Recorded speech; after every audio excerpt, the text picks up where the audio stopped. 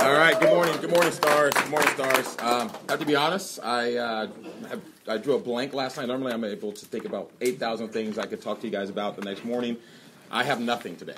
Nice. Um, so, how that relates to sales is this. I always have a way to relate it to something. Is that sometimes our minds are so cluttered that we wish we could walk in with an open mind. And sometimes in sales, we think about the past sales call we had with somebody and how it didn't go the way we wanted it to go, and we take that baggage into the next call. All right. And sometimes we think about our business and how last year went. We want things to be different, and we're cluttered with all the things that went wrong with the last time. So the message for today is to have a beginner's mindset to walk into every meeting that you have with a blank sheet of paper. Walk into every new sales experience or when you follow with somebody again with a new mindset because you never know what might change this time around. We all know there's a sales cycle in business. Sometimes it takes between five to 12 times before somebody changes their mind.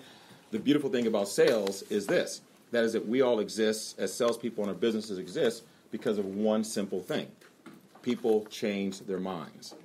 And if we walk in with a lot of preconceived ideas and notions and baggage from what happened the last time, we can have that affect the experience that we have this time. The last thing I'll say is, is that how many of us wish we had an experience that we could redo with somebody, where we said something we didn't want to say, or we presented our product in a way that we didn't like, and we just wish that we could like reset with somebody, right?